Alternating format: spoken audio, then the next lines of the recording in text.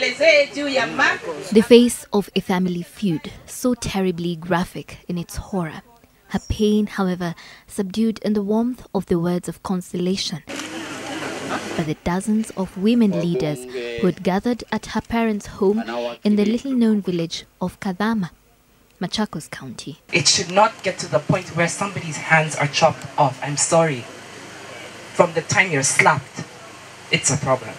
This just the tip of an insidious iceberg full of countless women living in fear for their safety.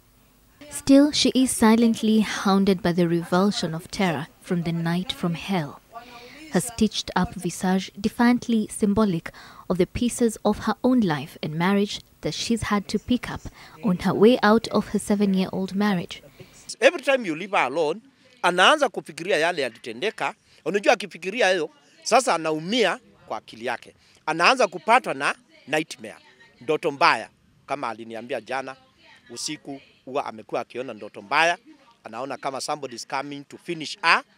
It's all she's taken from a tragic end to a fairy tale turned nightmare for her. The wedding was striking. Si nilimjua tu wakati alikuwa katoto, ndio because tulikuwa tunashiriki kanisa moja, na mimi nikaoleka kanisa lingine, na yeye pia akabaki kwa kanisa letu. Pia walikuwa watu very young, watu wa kanisa.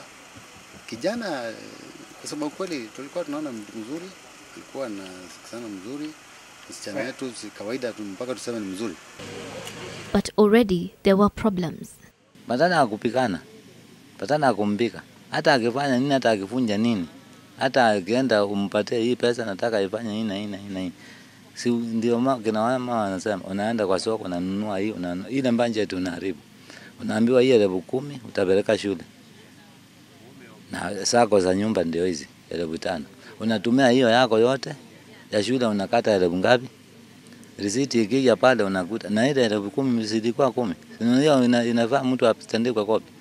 Fikiria uone hiyo pesa, pengine kuna kitu imekosekana hapa nyumbani na akachukua, hana makosa, wacha yeye.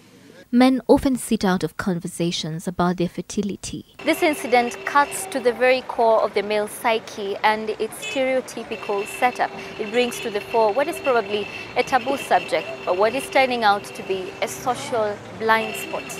Sema ukweli, eh, kuambia mwanaume hawezi pata mtoto saa ingine inaudhi, lakini inadepend na mtu. Kwanza kama ni wewe ni mtu umesoma na unajua vile nitakana iwe, si unajua what happens na what you should do. Kama amejaribu akashindwa, upande wa mtoto wanachukuana na bibi yake, wanaenda hospitali. Daktari anaangalia, anaangalia, anaangalia, anaambia, anasema kijana, naona maneno maneno ni mke yako, si ni for example. Alafu anaangalia, anaangalia, anaambia wewe kijana, wewe ndio upati mtoto na tutafanya namna hii. Kuna ile daktari, kuna ile dawa wanaanza wanaanza tumia ndio mambo ikuwe sawa. The ties broke under the burden of childlessness.